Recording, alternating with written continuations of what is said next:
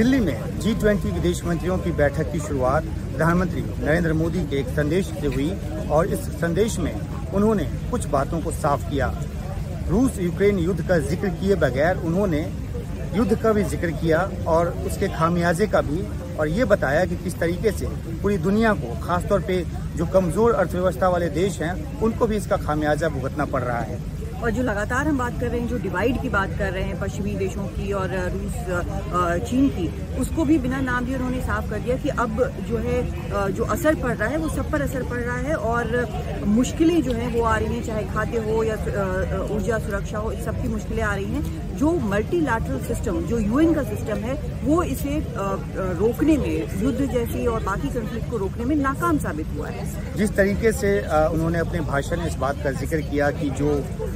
व्यवस्था बनाई गई थी वैश्विक व्यवस्था वो द्वितीय विश्व युद्ध के बाद बनाई गई थी और द्वितीय विश्व युद्ध के बाद के समय को में जो चुनौतियाँ थी उसको टैकल करने के लिए बनाई गई थी। आज के समय में यानी मौजूदा वक्त में जो चुनौतियाँ हैं उसको टैकल करने में जो आ, आ, जो वैश्विक शासन है जो ग्लोबल गवर्नेंस है वो नाकाम रहा है। तो ज़ाहिर सी बात है कि भारत जिस तरीके से यूएन में सुधार का हिमायती रहा है उस एजेंडे को उस बात को और आगे पीएम ने बढ़ाया है। बिल्कुल, उसको पीएम ने आगे भी बढ़ाया है और एक जो भारत के लिए बिल्कुल यूनिक चीज़ है और जो दुनिया भर में जानी मानी जाती है, वो है बुद्ध और गांधी की धरती। इसकी उन्होंने बात की, कहा कि यहाँ पर हम शायद एक हल ढूंढ सके, आगे बढ़ने की दिशा भी हम ढूंढ सके। तो ये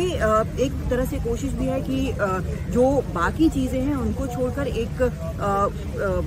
बड़ी जो तस्वीर है, उसकी तरफ़ देखा जाए कि किस तरह से अलग अलग जगहों पर जो कन्फ्लिक्ट चल रहा है और जिस तरह से नाकामी हम यूएन की एक तरह से देख रहे हैं उसका असर जो वर्ल्डनेबल जो देश हैं जो आर्थिक रूप से या बाकी तरह से मज़बूत नहीं है उनके ऊपर कितनी बुरी तरह पड़ रहा है? और पीएम के भाषण का जो या उनके संबोधन का उनके संदेश का जो एक प्रभाव है वो